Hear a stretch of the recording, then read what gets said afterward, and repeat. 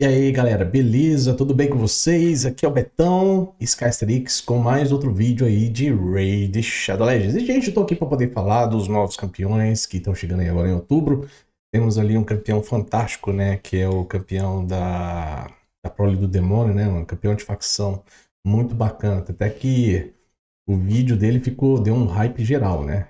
O cara é B10, né, mas vamos dar uma olhada nas habilidades dele, ver como é que é.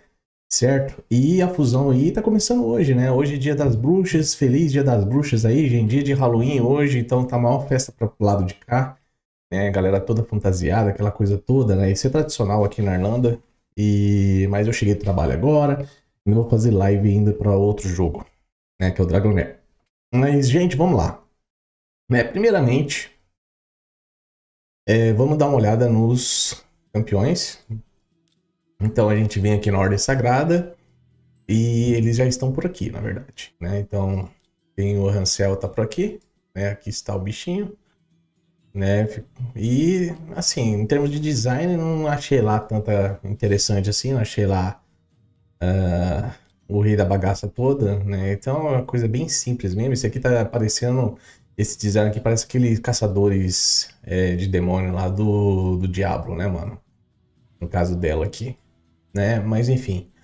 Então esses são os dois campeões, né? Ela é a campeã da fusão, certo? Mas uh, eu quero mostrar o cara da prole do demônio, mano. O cara ficou muito B10. Então olha só. Ele ficou muito bacana. Olha aí, mano, olha aí. Ele ficou muito bacana, né? Show pra caramba.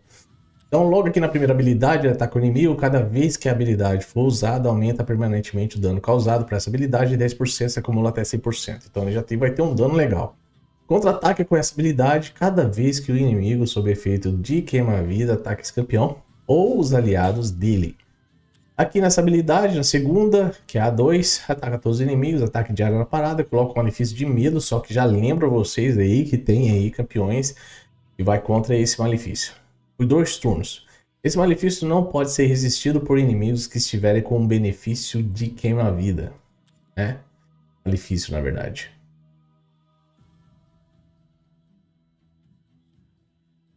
Aqui é malefício, tá, gente? Tá errado aqui. É, queima da, de demolição. É, ataca o inimigo duas vezes. O dano causado por essa habilidade aumenta em 10% para cada é, para cada turno restante de quaisquer malefícios de queima-vida no alvo. Se acumula até 100%. Então temos aqui dano dele baseado em defesa, como vocês podem ver. Isso acaba sendo um ponto positivo também, campeão de defesa. Aqui com o aliado da facção da prova do demônio, o dano recebido por esse campeão é reduzido em 50%, é, enquanto essa habilidade não estiver em tempo de espera. Dois aliados na, na mesma facção, cada vez que o malefício de queima-vida for ativado, em um inimigo tem 50% de chance de diminuir o tempo de espera dessa habilidade em um turno. E três aliados da mesma facção, se o alvo estiver com malefício de queima-vida, esse ataque irá ignorar os benefícios de pele de pedra, invencibilidade, proteção de aliado, bloqueio de dano, ele vai, vai, vai ignorar tudo, né? E ali tem mais dano. E logo aqui na passiva dele, quando o inimigo recebe o benefício ou recebe um aumento de medidor de turnos, tem a chance de 50% de aplicar um U benefício de queima-vida, mano. Malefício de queima-vida e tal inimigo por dois turnos. Se o inimigo já tiver com malefício de queima-vida, tem uma chance de 50% de ativá-lo instantaneamente. Unidade da Prole do Demônio aqui. Aí, se for um aliado da facção da Prole do Demônio, malefícios de queima-vida colocados para essa habilidade não podem ser resistidos ou bloqueados. Dois aliados da mesma facção, toda vez que o malefício de queima-vida for ativado, em um inimigo, esse campeão ganha 5% de ignorar a defesa e acumula até 100%. Olha só. Três aliados da facção da Prole Demônio colocam o malefício de bloquear a ressurreição em todos os inimigos mortos enquanto estiverem sob o malefício de queima-vida. Olha aí, mano. Ele tá aplicando o malefício de queima-vida na parada. Eu achei interessante, na minha opinião. Um cara bem B10. Ele tem mais essa aura aqui que, na primeira situação, aumenta a defesa de todos os aliados em todas as batalhas em 33% e aumenta a velocidade dos aliados em todas as batalhas em 19% se aplica a prole do demônio, no caso aqui campeões da prole do demônio. Cara bacana, cara B10, né? Então representatividade bacana 100% aí, é interessante por parte desse campeão que é o Vulcanus Fumor, né? É, então esse foi um campeão, temos mais outro campeão que chegou temos aqui dentro os anões, que é esse cara aqui. Ele é logo do vazio, mano. O Arnorn, o brilhante. Então esse cara chegou também. Então, olha só. É, ataca o inimigo duas vezes, o dano aumenta em 5% para cada malefício no alvo. Tem a chance de 35% de colocar o malefício de todo ar. Beleza, então aqui bem simples. Na habilidade A2, ele ataca o inimigo duas vezes, o dano causado por essa habilidade aumenta em 10% para cada 10% de vida perdido por esse campeão. Hum, então aqui temos uma mecânica. Se o alvo estiver com dois ou mais benefícios, e também ignora 35% da defesa do alvo. Legal. Fornece o turno extra se esse ataque matar o inimigo. Ok. Aqui ele ataca todos os inimigos, ignora benefício de aumentar a defesa, fortalecer escudo, legal também. Se este ataque matar pelo menos um inimigo, diminui os medidores de turno de todos os inimigos em 50%. Esse efeito não pode ser resistido. Isso é legal. Então, cara para arena, né? E aqui temos a passiva, que aumenta o ataque desse campeão em 5%. Para cada benefício ativo da equipe inimiga, se acumula até 100%. Efeito ativo, previne a morte desse campeão e o mantém vivo com uma vida quando atingido por um golpe fatal. Coloca o benefício de pele de pedra nele por um turno, em seguida instantaneamente ativa a habilidade Ira, Ira de, de Roth Gleam, é Gleam, né? Isso não colocará a habilidade Ira uh, Ross Gleim em tempo de espera. Se houver vários campeões na, na, equipe com essa habilidade, somente uma vai ser ativada. Então a habilidade ali é essa daqui, ó. Ele vai ignorar, né? Então, interessante, mas temos aqui também uma aura para todas as batalhas de ataque de 30%, né? Então, legal também para todos os aliados, né? Então ele é como fosse ali um, um cara para poder bater como fosse o senhor, o rei da montanha, certo? Praticamente nesse sentido, um cara, na minha opinião, mais para arena mesmo, talvez ali alguns cenários, né, é, da Persão, por aí vai, talvez, né?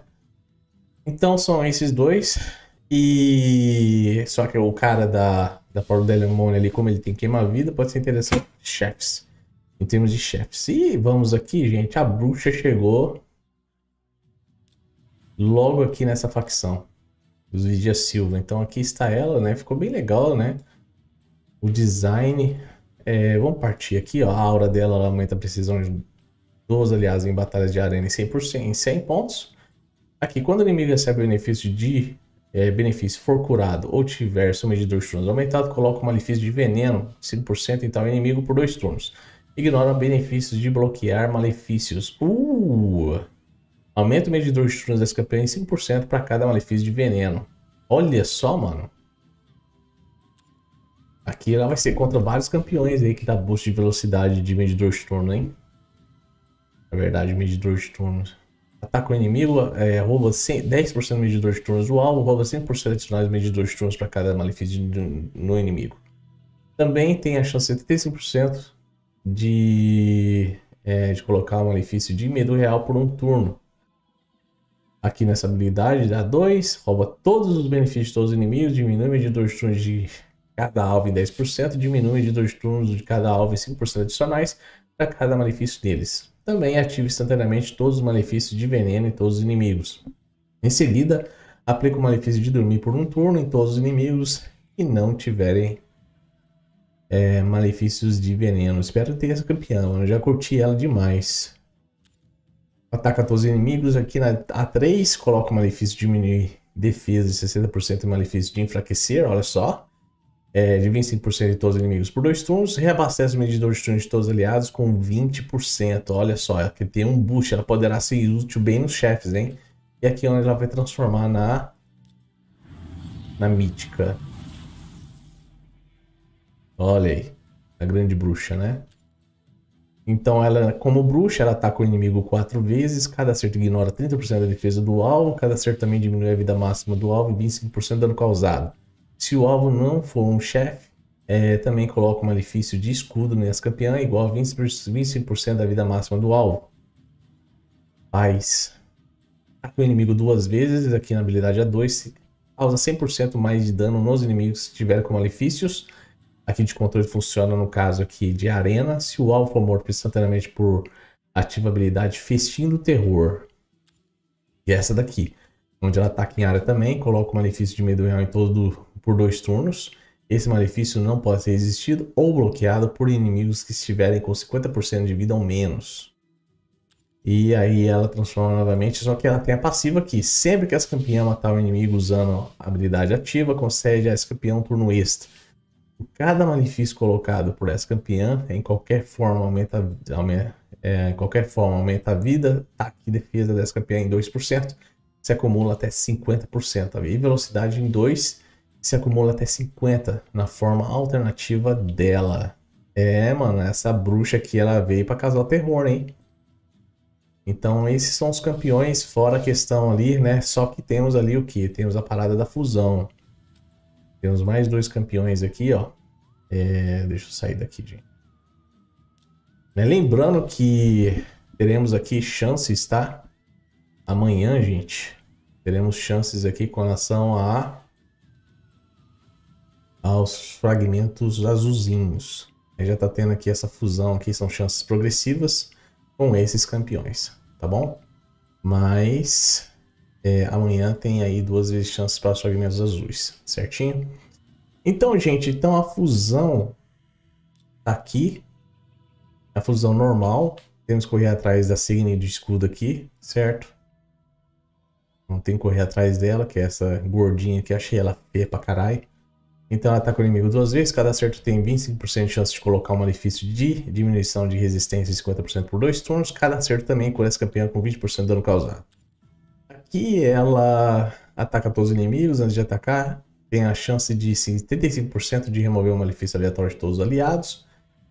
E depois de atacar, tem a chance de 75% de remover um benefício aleatório de todos os inimigos. Aqui nessa habilidade, na habilidade A3, ela coloca o benefício de aumentar a resistência 50%, benefício de refletir dano em, de 30% em todos os aliados por dois turnos. E ficou bacana aqui, ó, refletir dano de 30%, porque ela é de vida, então vai compensar demais ela ter ela ter vida aqui. Então é o que a gente pedia pro chefe de guerra. Eles fizeram nessa campeã. Por isso que ela é gordinha assim, pra aguentar porrada. Quando essa campeã estiver com benefício de refletir dano e o inimigo tentar aplicar um malefício, terá a chance de 20% de refletir o malefício de volta para o atacante também. Olha só. Ela também vai ser interessante arena, hein? Olha aí, mano. Época interessante. Vou curtir a época. Só que não é só ela. Temos esse cara aqui. Olha aí. Cara de defesa, aqui na habilidade A1 ele ataca o inimigo, tem a chance de 30% de colocar um malefício de irritar, e logo aqui na habilidade A2 ele ataca todos os inimigos, e coloca o benefício de fortalecer em 25% as aliados por dois turnos. Então ele tem aqui irritar e ainda dá uma certa estabilidade no time, né? No caso aí, principalmente se for usar ele em termos de times aí para é times raros, né? E é um cara também do vazio, mano. Olha só. É, na habilidade passiva, coloca o benefício de escudo nesse campeão por dois turnos, igual a 10% da vida máxima desse campeão, quando atingido por um inimigo que estiver com malefício de irritar. Então ele vai ter que irritar na parada, e só irrita na habilidade A1. Assim, se fosse habilidade diária aqui para irritar, mano, mas não é o caso. Então achei um caso isolado aqui. Eu curti mais a época, tá? Praticamente isso. A época é bem mais interessante. Mas é uma fusão que vai ser complicada, no caso, do mais que aqui com esses campeões do vazio, né, mano? Mas é isso, gente. Então, lembrando, teremos aí duas vezes chances, tá? É, duas vezes chances com relação. Com relação a aos fragmentos azuis, mas não é só isso. Teremos mais eventos também, que já foi temos a programação de toda a fusão. Temos aí logo na sexta-feira, dia 1 de novembro, 10 vezes chances, né? É, a gente vai poder summonar aí o Vulcanus Fumor. Então a oportunidade de ter o Vulcanus aí por meio do dos fragmentos azulzinhos, que o Vulcanus Fumor é o cara da prole lá, certo? É, o evento desce 10 vezes chances, que é, é, terá duração diminuída, certo? É lógico que eles não querem todo mundo que esse campeão. Na sexta-feira na, na sexta também, dia 1 de novembro, duas vezes chances aí para o artefato de retaliação lá no Golem de Gelo. Na, na segunda-feira, dia 4 de novembro, temos duas vezes chances para o artefato de velocidade lá no Dragão. Dia, dia 7 de novembro, na quinta, planejando duas vezes chances aí para o artefato de regeneração no Castelo Cavaleiro de Fogo. E finalizando no domingo, dia 10 de novembro, com duas vezes chances para os acessórios da Ordem Sagrada do Covil da Aranha, no mais por causa do campeão da fusão. É, gente, então tá aí informação para vocês. E deixa saber o que vocês acharam desse campeão, dos campeões, né? É, deixa aí a curtida meu vídeo. Obrigado a todos, certinho. E vejo vocês aí no próximo vídeo. Até a próxima. Fui.